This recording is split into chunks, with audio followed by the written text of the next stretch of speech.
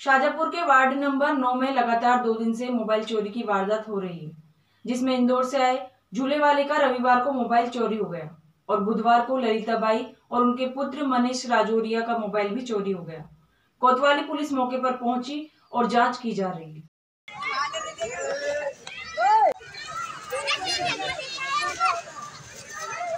Mummy को phone का phone आया दोस्ते का।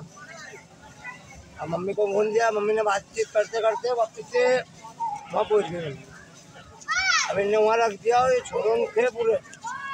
जरा जरा और ये जब भी मोबाइल चले। हो तुम धंधे में लग गए। बात करी और बात करके मिट्टी बात चालू हुआ और बस हम नीचे तो थोड़ी देर बाद मोबाइल का मुझे देखो तो दिया पीछे में। तो होगा परसों के दिन गए है। दो मोबाइल चोरी हुए हाँ शाजापुर से शब्बीर अत्तार की रिपोर्ट। खबरों में बने रहने के लिए ग्रामीण भारत टीवी को सब्सक्राइब कीजिए और बेल आइकॉन दबाना ना भूलें।